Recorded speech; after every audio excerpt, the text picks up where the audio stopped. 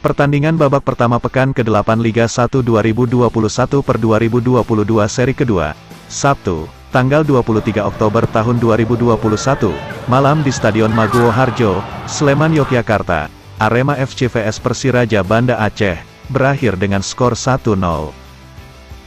Arema FC berhasil unggul 1-0 pada menit awal, atas Persiraja Banda Aceh, hasil gol yang dicetak oleh M. Rafli pada menit keempat, lewat tendangan bebas yang dieksekusi Rafli dari luar kotak penalti.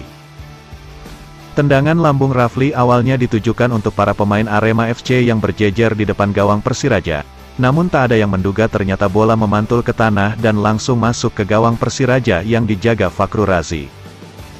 Arema FC, yang turun dengan kekuatan terbaiknya, langsung mengambil inisiatif serangan sejak awal laga.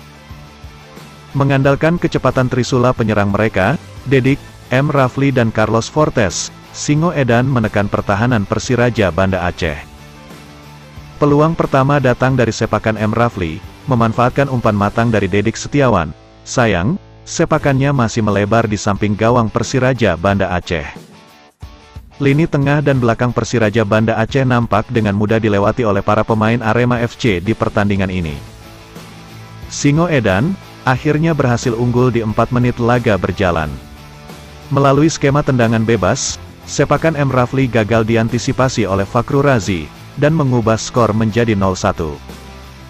Unggul satu gol, para pemain Arema FC masih belum mengendurkan serangan.